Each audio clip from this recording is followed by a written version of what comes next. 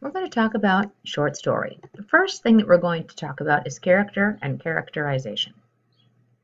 The main character in a story, the person the story is about, or the person that you're rooting for in a story, is called the protagonist.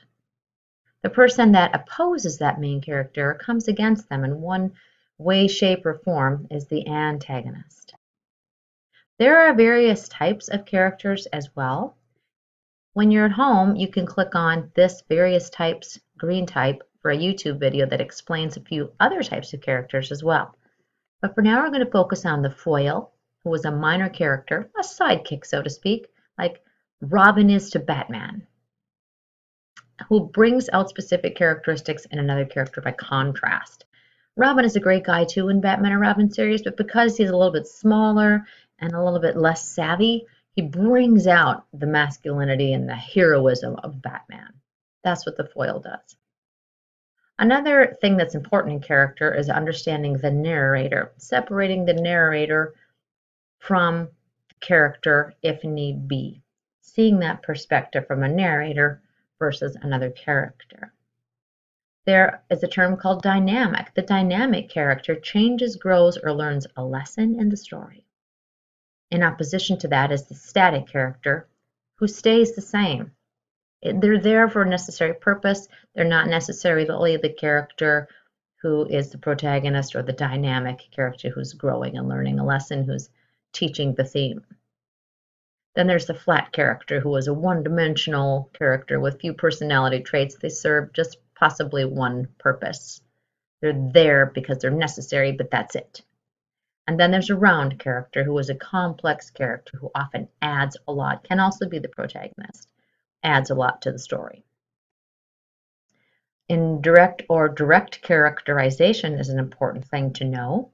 When an author writes and describes characters, they'll use these two things. Direct characterization occurs when descriptions are written directly. Sam was this or that. He was brave and confident, so now you know that Sam was brave and confident. However, an indirect characterization is the things that the character does that exposes their nature, that exposes what they are like.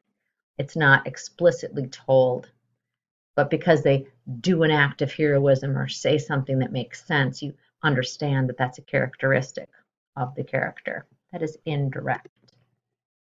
Next, we'll move to setting. Setting uses imagery and word choice to indicate what the setting is, obviously. Authors will describe where things happen using a lot of adjectives, and they'll describe when things happened because it sets the setting. It's setting you in that place. Ask yourself these four questions.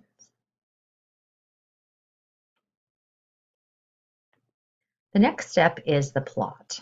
The plot is the sequence of events in a story. It is ongoing. I like to think of it as a big cast iron pot of soup.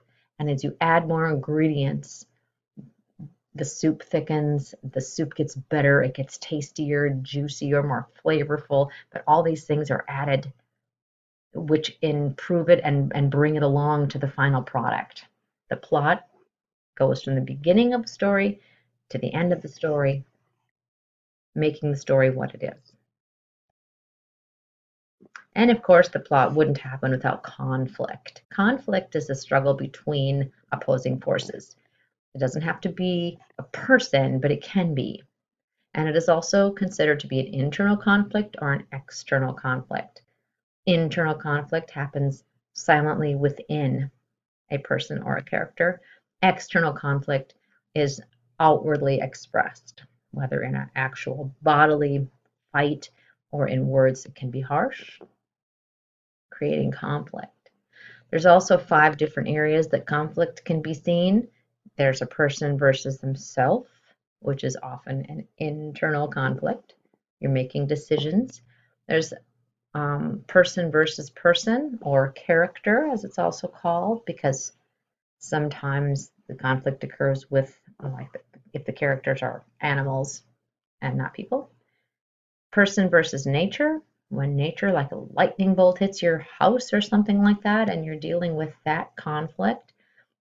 person versus society, or something is happening in the society that's causing a conflict within the character, and person versus fate.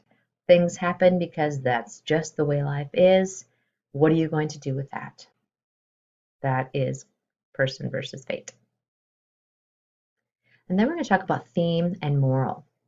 They both have similar um, definitions, but they're different. A theme is a message to the reader from a story. There's a main theme in a story, and there's often sub-themes, lessons that are um, portrayed through the characters, the things that happen. Then there's a moral. A moral is attached to a fable or a tale, or a theme is attached to an essay or a story. Discuss. What stories do you know? What is the story's main message? Can there be smaller themes within a story?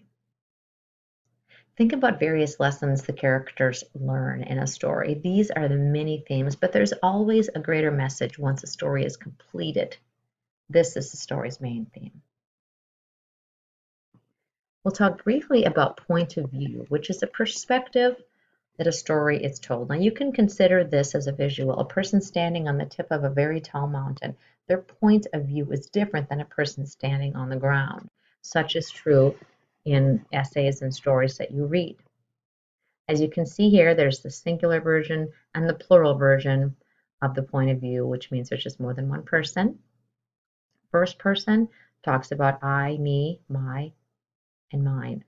It's First person, it's it's the it is you. It is I had a cat.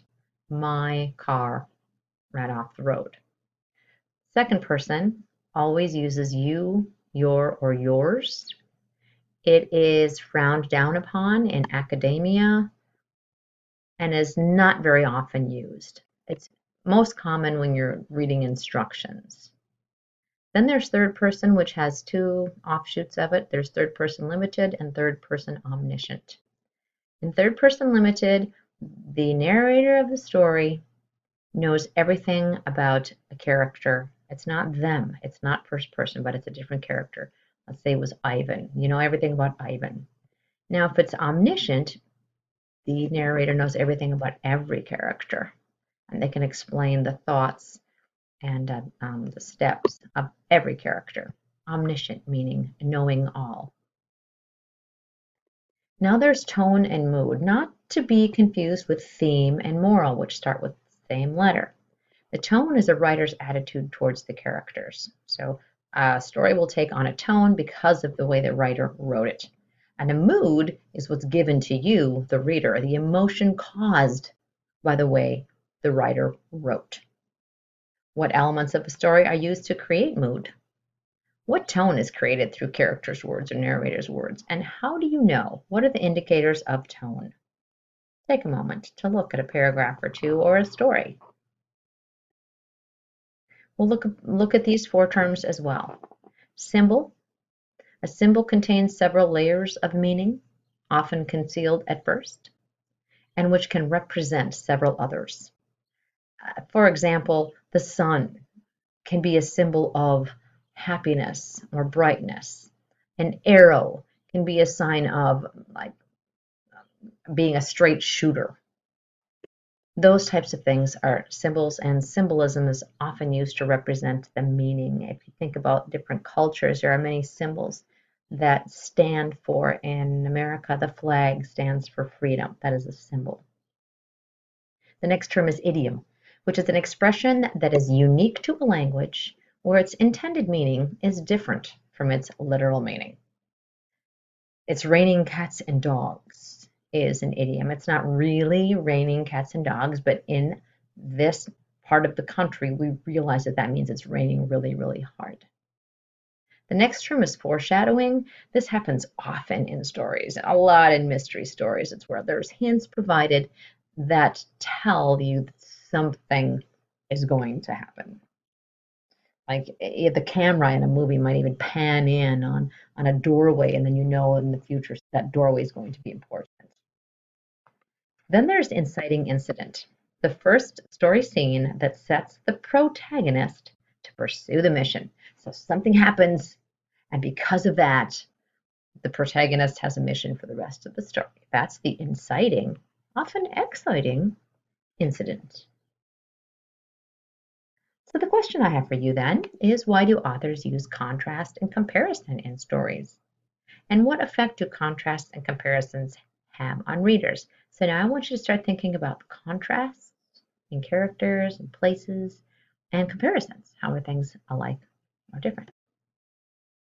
Here you can see a Venn diagram.